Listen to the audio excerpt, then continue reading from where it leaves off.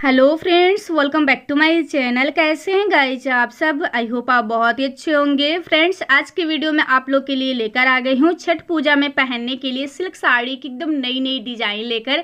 गई सिल्क की साड़ियाँ ना बहुत ही ज़्यादा खूबसूरत लगती हैं और खास करके जब पूजा पाठ में, तीज त्यौहार में या फिर शादी विवाह में जब सिल्क की साड़ियाँ पहनी जाती है ना तो और भी ज़्यादा अच्छी लगती हैं। तो इसलिए मैं छठ पूजा में पहनने के लिए एक से बढ़ के एक सिल्क की साड़ियाँ आप लोग के साथ शेयर कर रही हूँ।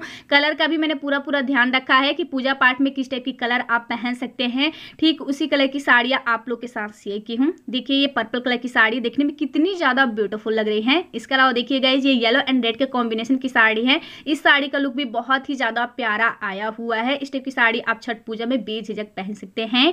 ये बांधनी की साड़ी है गाइज़ जो कि सिल्क फेब्रिक में है। देखने में काफ़ी शानदार लग रहा है। और ये देखिए ये रेड कलर की साड़ी, इसमें आपको गोल्डन का भी कॉम्बिनेशन मिल रहा है। तो रेड और गोल्डन का कॉम्बिनेशन वैसे भी बहुत ही ज़्यादा प्यारा लगता है। और ये डार्क पर्पल कलर की साड़ी है गई इसके अलावा देखिए ये स्काई ब्लू कलर की साड़ी है। इसमें भी आपको गोल्डन कलर का बॉर्डर मिल रहा है। जरी विविन का काम किया गया है तो देखने में काफ़ी शानदार लग रहा है और ये पिंक कलर की साड़ी है गाइज़ तो एक से बढ़ एक कलर की सिल्क की साड़ी आप लोग के साथ शेयर की हूँ। तो जिस भी कलर में, जिस भी पैटर्न में आपको सिल्क की साड़ी पसंद आती है और अगर आपको छठ पूजा में पहनने के लिए लेनी है तो ये सभी साड़ियाँ ना गाइज़ आपको मीशो पे ईजिली मिल जाएँगी और हाँ गाइज़ आपको बहुत ही कम प्राइस में मिल जाएँगी।